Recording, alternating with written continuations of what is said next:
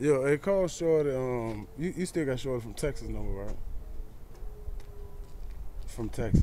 That's supposed to be getting the rooms and shit. Call her, man. She was good. Uh, man, niggas bullshit, man. We on way.